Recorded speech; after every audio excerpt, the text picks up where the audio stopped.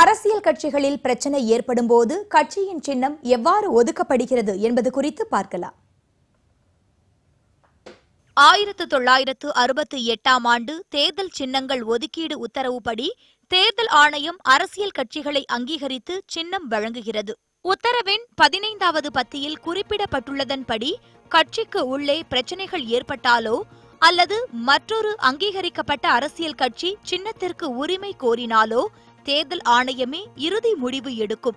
இரு கட்சிகள் இணையும் போதோ அல்லது கட்சிகள் பிரியும் போதோ சின்னம் பற்றிய இறுதி முடிவெடுக்கும் அதிகாரம் தேர்தல் ஆணையத்துக்கே உள்ளது. ஆயிரத்து தொள்ளாயிரத்து எழுபத்து ஓராம் ஆண்டு சாதிப் அலி வழக்கில் தேர்தல் ஆணையத்தின் முடிவை உச்சநீதிமன்றம் ஏற்றுக்கொண்டது.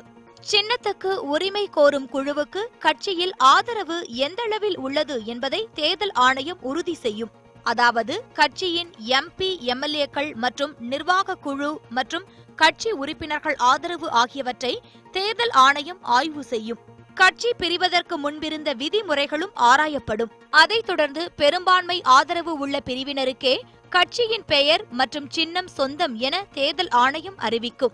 மற்றொரு பிரிவினர் தனி கட்சியாக பதிவு செய்து கொள்ள தேர்தல் ஆணையம் அனுமதி வழங்கும். இரு பிரிவுகளுக்கிடையே பெரும்பான்மை ஆதரவை தீர்மானிப்பதில் இழுபறி ஏற்படும்போது தேர்தல் ஆணையம் சின்னத்தை முடக்கும். இரு பிரிவினரும் கட்சி பெயருடன் பின் அல்லது முன் ஒட்டு சேர்த்து புதிய பெயரில் கட்சியை பதிவு செய்து கொள்ள ஆணையம் அனுமதிக்கும். இந்த பிரச்சனையில் பல்வேறு ஆதாரங்களையும் பரிசீலிக்க தேர்தல் ஆணையம் போதுமான அவகாசம் எடுத்துக்கொள்ளும். உடனடியாக தேர்தல் உள்ளது என்ற நெருக்கடி ஏற்பட்டால் தேர்தல் ஆணையம் சின்னத்தை முடக்கிவிட்டு தற்காலிக சின்னங்களில் போட்டியிட இரு தரப்பினரையும் அனுமதிக்கும். கட்சி பிரிவுக்கு பிறகு ஒருவேளை இரு பிரிவினரும் ஒன்றாக இணைந்து செயல்பட முன்வந்தாலும் ஒரே கட்சியாக இணைவதை அங்கீகரிக்கும் அதிகாரமும் தேர்தல் ஆணையத்துக்கு தான் உள்ளது.